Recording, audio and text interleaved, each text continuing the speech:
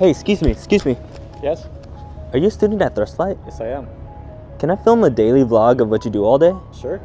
After you. Well, this is it. Oh, um, okay.